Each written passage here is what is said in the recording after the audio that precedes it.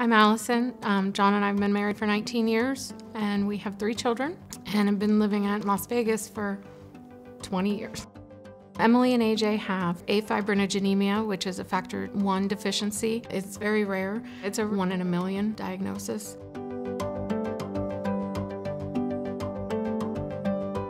It means that when I was born that I was missing a factor in my blood which causes my blood to not clot as fast as everybody else's. AJ is five and he has the same bleeding disorder as me and we go through our infusions at the same time and it's kind of just like a bond that we share. Emily is a normal kid. She's 13. She's typical teenager, so she likes to hang out with her friends and be able to go and do things with um, the church group. She goes to hemophilia camp.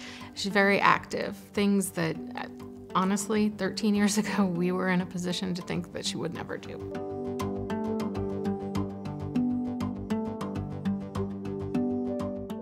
When Emily was born, we did not have any uh, indication that she could have a bleeding disorder.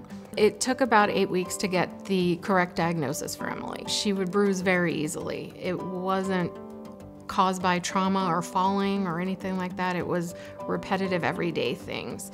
Um, the five point harness in the car seat um, straps in the stroller, straps in the high chair, uh, would leave marks on her chest. If you picked her up too frequently under her armpits, she would have handprint bruises under her arms.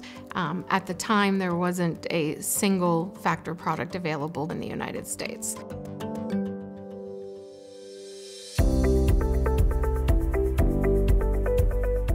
The entire process, it did take about two years, we were able to get a supply sent over to us to start treating her here. And the change in her was phenomenal.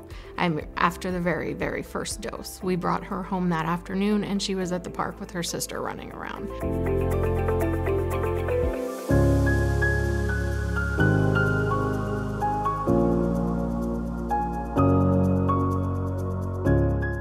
We did bring Emily with us. We thought that that was important, that they, they saw her, that um, we showed them that this is, this is what we've done, this is what is done for our daughter, and there are other patients out there that can benefit from it. My dreams for the future are to meet all the people that have the same bleeding disorder as me so we can stay in contact and learn about their stories about what they've gone through too. With everything we went through with her as a small child, as a toddler, we didn't ever think we would get to this point without having access to treatment that was readily available. I love how my mom is caring towards us. What matters to her is us, of what we go through. Having access to treatment has changed her life and has given her that future that we had hoped for.